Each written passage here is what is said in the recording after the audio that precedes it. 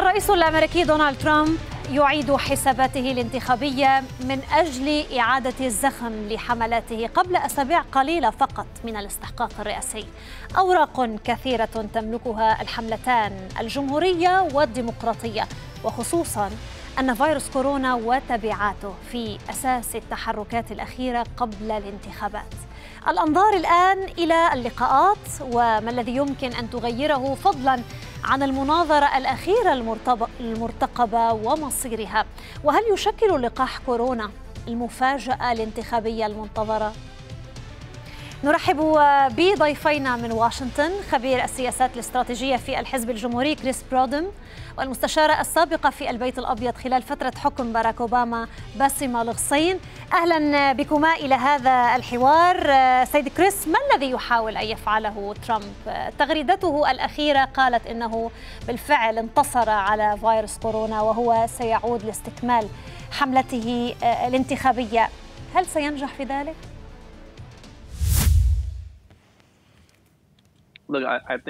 في الواقع أعتقد أن طبعا ما شاهدناه هو أمر فريد من نوعه. وأعتقد أن الرئيس ترامب قد فاز بشكل كبير في خاصة في أريزونا. وسوف نشهد نشهد حملة انتخابية. وسوف يركز اليوم على طبعا انتصاره ضد فيروس كورونا. ويعاد يعاود نشاطه في إطار الحملة الانتخابية وطبعا هو سوف يتوجه إلى فلوريدا حيث ستكون محطته الأولى ضمن هذه الجولة جولة الحملة الانتخابية. هو يستكمل على ما يبدو عمله وكأن شيئا لم يكن. أستاذة باسمة أهلا بك معنا دائما في غرفة الأخبار. البعض يرى أنه عودة الرئيس بكل نشاط وبصحة جيدة. هو بات كما يقول محصنا من فيروس كورونا يشكل ضربة للديمقراطيين.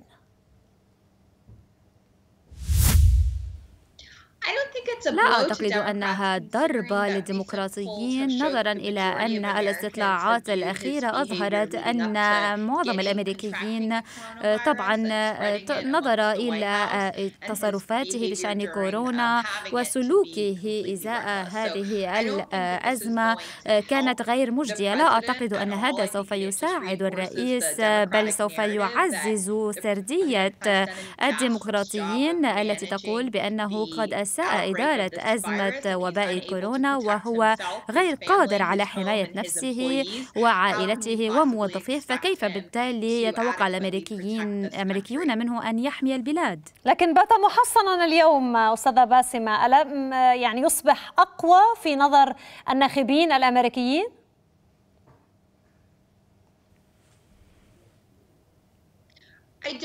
لا أعتقد أنه أقوى اليوم بالنسبة للناخبين سوف يقويه شخصيا لربما ليستمر في حملته الانتخابية واستراتيجيته التي تعتمد على المشاركة في الحشود طبعا بطريقة يهمل فيها التدابير مثل ارتداء الأقنعة والحفاظ على التباعد الاجتماعي. أعتقد أننا سوف نرى الرئيس يستمر في هذه الاستراتيجية. الاستراتيجية التي أمرضته وجعلته مريضا هو وموظفيه. هذه بطبيعة الحال التطورات اللي تابعناها خلال الأسبوعين الماضيين وضعت المرشحين من دون مناظرة يعني تجمعهما في المرحلة المقبلة. كنا بانتظار بالخامس عشر مناظرة تم إلغائها السيد كريس. لكن على ما يبدو المصير نفسه أيضا سيلحق بالمناظرة الأخيرة. من المستفيد من إلغاء هذه المناظرات بداية؟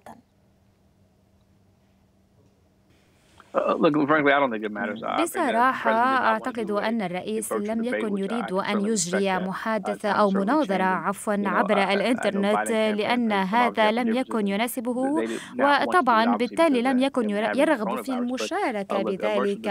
وأعتقد أنه بالنسبة للمناظرة لا لم يكن هناك من احتمال أو من إمكانية لإيصال مرادهم طبعا الأمر يقع على الجهتين وله تبعات على الجهتين.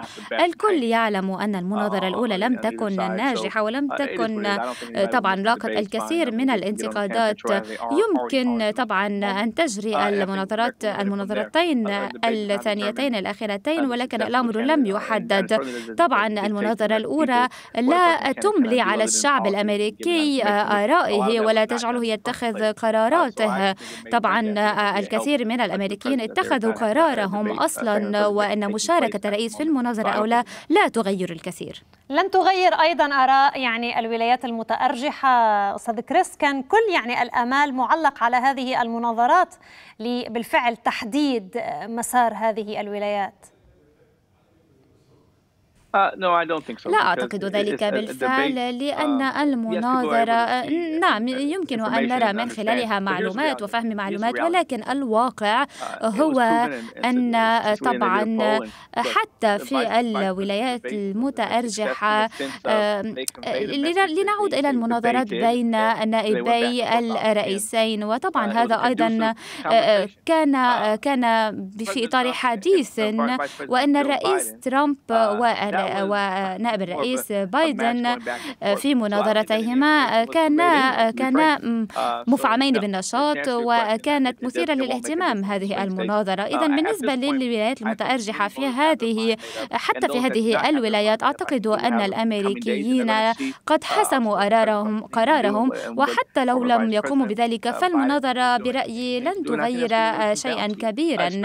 وخاصة عندما يتعلق الأمر في هذه الولايات ولايات مثل بنسلفانيا وفي غيرها سواها من الولايات مثل نورث كارولاينا أعتقد أننا سوف نرى تأرجحا وسوف نرى زيارة للسيد بايدن لمعظم هذه الولايات ولكن السيد ترامب طبعا يقوم بأداء جيد ولا أعتقد أن هذه المناظرات سوف تشكل فارقا كبيرا وطبعا أعتقد ما هو مهم هو ما يحدث إزاء كورونا فيروس إذا وضع كورونا فيروس.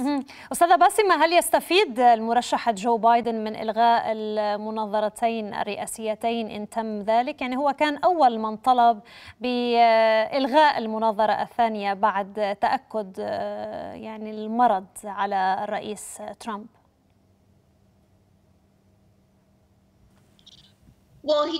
حسنا آه، هو قال بأنه لا يريد للمناظرة أن تجري آه، آه، شخصيا بل على زوم ولكن السيد ترامب لا يريد أن يخضع لأي مناظرة أو يشارك في أي مشاركة.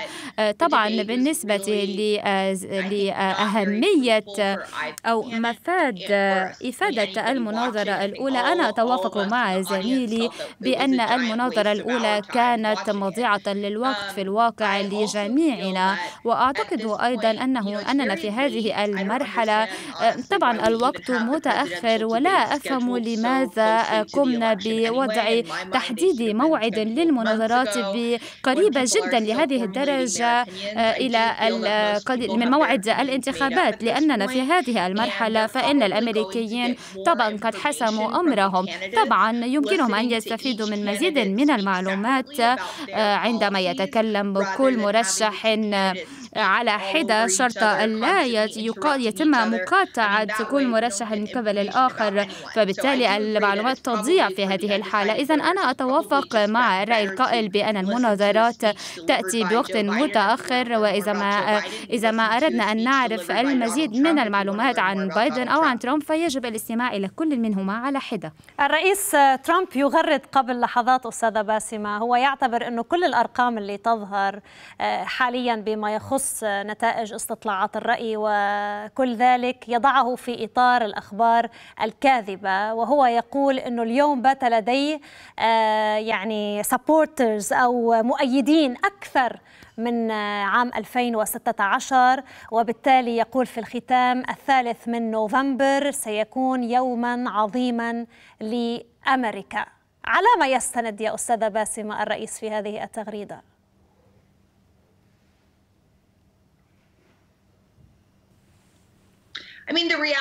الواقع هو أن استطلاعات الرأي هي تتغير بشكل كبير. في عام 2016 الاستطلاعات تنبأت بفوز كلينتون. الأمر الذي لم يحصل وهذه هذا درس يجب أن يأخذ يأخذ به الديمقراطيون بأنه لا يجب أن نأخذ الأمور وأن نتكل على نتائج الاستطلاعات وأن نكون كسالى إذا صح التعبير. طبعا لا يجب أن نقول بأن حكما سيد بايدن سوف يفوز استنادا إلى نتيجة الاستطلاعات. بل يجب أن نتحلى بالشجاعة والحماس ونذهب للتصويت قد تكون النتائج متقاربة جدا. نتائج 2016 قد تكون قد نعيد نعيد السيناريو نفسه في هذه الانتخابات. الكل يعلم أن السيدة كلينتون كان لديها عدد أكبر من الأصوات ولكنها خسرت. لا نريد أن نكرر هذا السيناريو. إذا ما كان متقدما في الاستطلاعات فهذا لا يعني حتما أنه سوف يفوز. آه، سيد كريس اليوم الولايات المتحدة تعيش أزمات متعددة خصوصا بعد ما أتت يعني هذه الأزمة أزمة فيروس كورونا وأنهت العديد من الوظائف وجعلت عدد كبير من الأمريكيين بالفعل يعيشون من دون وظائف اليوم على ما يستند باعتقادك الرئيس عندما يقول أنه مؤيديه باتوا أكثر بكثير من العام 2016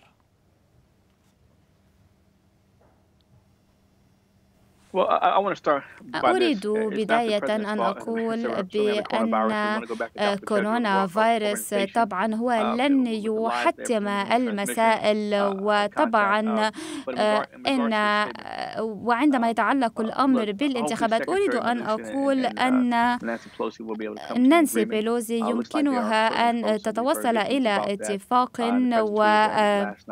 وطبعا في الأمس شاهدنا قرارات بشأن أو محادثات بشأن حزمات التحفيز وهذا أمر أيضا سوف يكون ذات أهمية كبيرة.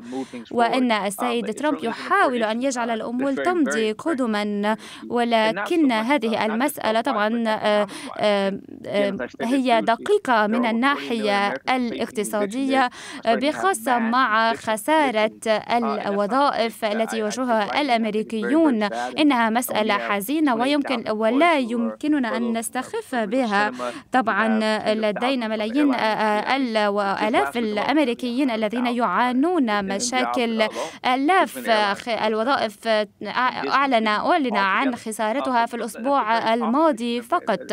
إنها مسألة مهمة جدا وإنها مسألة محزنة. وطبعا هذا يمتد على عدة أشهر وإن تصحيح الموضوع سوف يتطلب وقتا وطبعا الأمر مهم من أجل استئناف الأعمال في في الولايات المتحدة.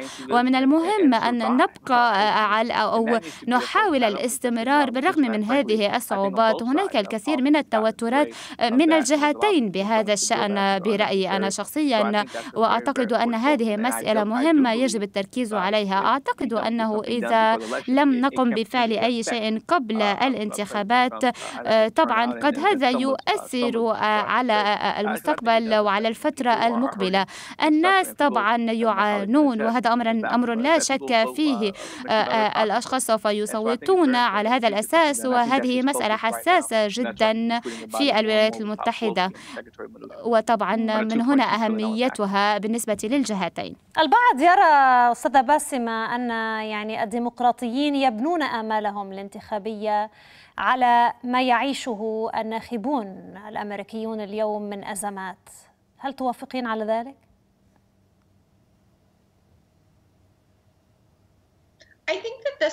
أعتقد أن هذه الانتخابات فريدة لأنها ليست انتخابات تقليدية بين آه، إيديولوجيات متناقضة آه، تتنافس مثل إيديولوجية ليبرالية وأخرى محافظة. أعتقد أن معظم الأمريكيين الناخبين هم آه، طبعا يريدون معرفة من سوف يدير أزمة كورونا فيروس مثلا بشكل أفضل. وهذا سوف يكون سؤالا مهما سؤال اليوم سؤال ما إذا كان إذا عندما كان للأمريكيين ثقة بأن الرئيس ترامب قادر على إدارة هذه الأزمة فهذا الأمر سوف يؤثر كثيرا في القرار لكن السيد جو بايدن لو كان هو الرئيس أستاذة باسمة كيف كان ليدير هذه الأزمة؟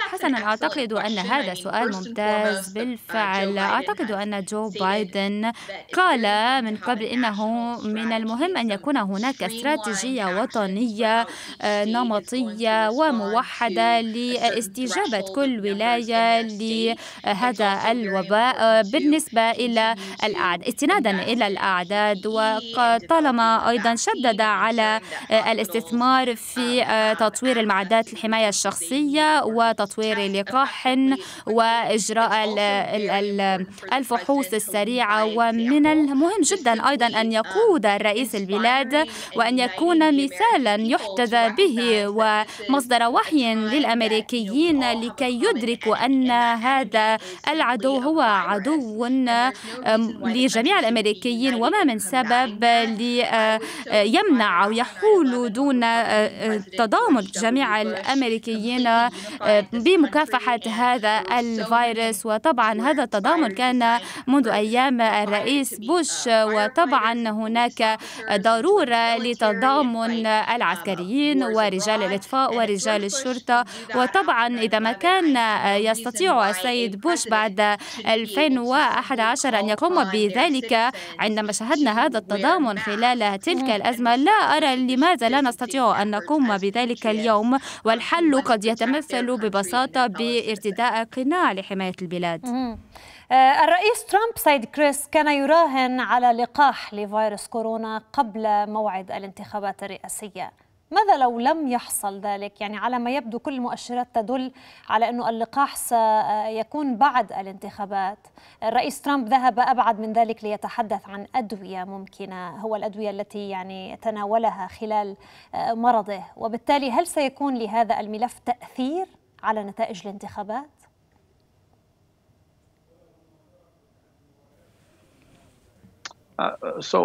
حسنا لا أعتقد ذلك.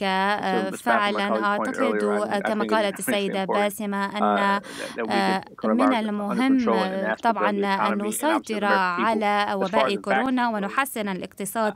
ولكن بالنسبة للقاح سوف نحصل على لقاح في نهاية المطاف. ولكن من المهم أن يكون هذا اللقاح ناجحا ومن دون أي أعراض جانبية. لا أعتقد أن هذا سوف يحقق يحدد نتائج الانتخابات.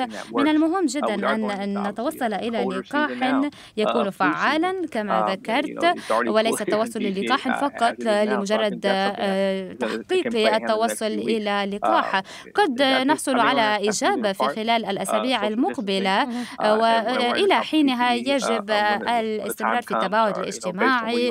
وطبعا مراقبة سلوكنا وأعتقد أن السيد ترامب uh, يعلم ذلك بشكل كبير ولا أعتقد أن مسألة اللقاح سوف تكون مسألة أساسية يعتمد عليها آه، بالنسبة للانتخابات. وبصراحة أعتقد أن هذا الأمر آه، يبين خطورة هذا الوباء لأن السيد ترامب الذي كان محصنا ورغم ذلك قد أصيب بفيروس كورونا وهذا يبين أنه ما من حدود بالنسبة لهذا الوباء وما من رادع له.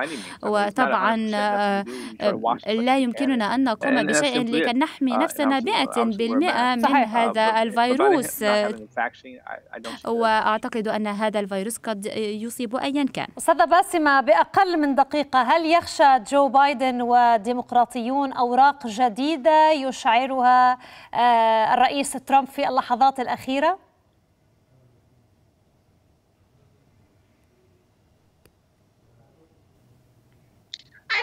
لا أعتقد ذلك فعلا في المرة الأخيرة في عام 2016 دونالد ترامب كان استفاد آه، من طبعا من الإظهار أو الكشف عن عدد من المفاجآت. أما اليوم فنحن نعرف تكتيكاته ونعرف سبله وطرقه وكيف يتصرف ونحن مستعدون لذلك. سنكون بانتظار بطبيعة الحال ما ستحمله الأيام الأخيرة قبل انتخابات الثالث من نوفمبر. شكرا جزيلا للمستشارة السابقة في البيت الأبيض خلال فترة حكم باراك أوباما باسم الغصين والشكر موصول لضيفنا من واشنطن خبير السياسات الاستراتيجية في الحزب الجمهوري كريس برودم.